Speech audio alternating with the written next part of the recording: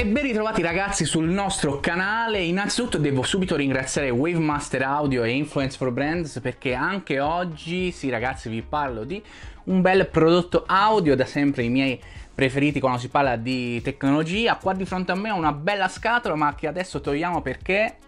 perché voglio parlare di loro, le Wavemaster Cube Neo Bamboo 2.0 sono innanzitutto delle casse che si abbinano perfettamente al tavolo, questo qua che uso per, per, i video, per le recensioni. Sono casse che sono assemblate in bambù, oliato e cerato, quindi nel caso le avesse non pulitele mai con alcol altrimenti rovinate la finitura sono delle casse che eh, per quanto si presentino come speaker da studio i cosiddetti monitor in realtà sono casse bluetooth quindi utilizzabili in portabilità. Ovviamente pesano un po' qualche chiletto lo pesano le dimensioni non sono eccessive per essere delle casse diciamo ad alta fedeltà però ovviamente sono pensate wireless nel senso di meno ingombro possibile nel salotto nello studio piuttosto che ovviamente casse da eh, portarsi in giro. Qua dietro eh, vi faccio vedere il retro della cassa destra che è quella che comanda poi quella a sinistra che eventualmente possiamo andare ad attaccare tramite eh, gli appositi connettori ed il cavo che viene dato in confezione. Come dicevo,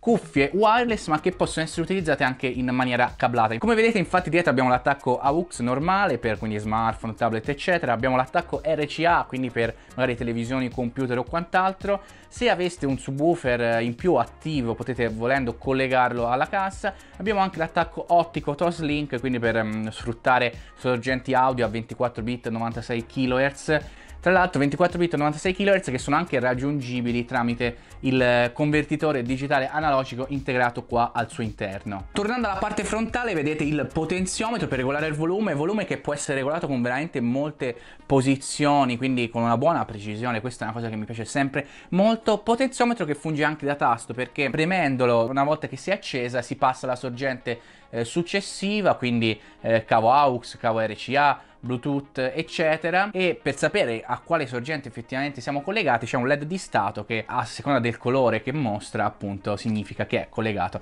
a una sorgente piuttosto che a un'altra. Per quanto riguarda la componentistica audio al loro interno c'è un tweeter da 25 mm con eh, rivestimento della cupola in seta e c'è anche un woofer da eh, 15 cm che quindi si occupa delle frequenze più eh, medio-basse con un cono in cellulosa. Il tutto è poi alimentato da un un amplificatore dedicato a doppio canale che permette di avere un output, eh, un volume anche molto corposo e quindi è possibile anche tenere un volume eh, piuttosto alto anche senza eh, incappare in particolari distorsioni. In confezione le casse vi arrivano anche con i cavi AUX ed RCA per poterli già collegare, oltre che chiaramente il cavo che collega eh, le due casse, ma cosa molto importante c'è anche un telecomando ad infrarossi con già anche le pile comprese che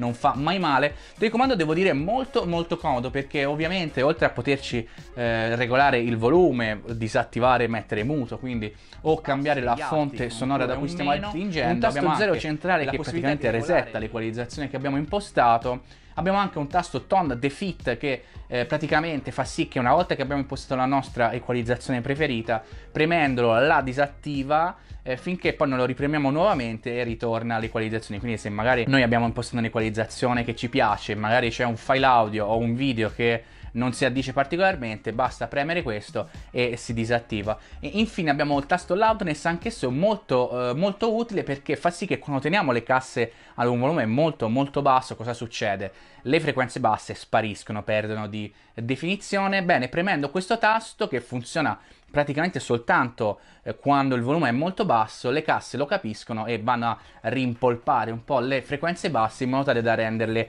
eh, più nitide anche a volume basso. Le potete trovare in commercio eh, anche su Amazon, vi lascio il link qua sotto in descrizione allo store eh, ufficiale di Wavemaster ad un prezzo che oscilla fra i 170 e i 250 euro, dipende anche se volete la variante in bambù o la variante eh, nera. Fatto sta che vi lascio tutte quante le, le, le, informazioni qua sotto in descrizione. Queste erano le Wavemaster Neo Cube 2.0. Io vi ringrazio della visione e ci vediamo ad un prossimo video.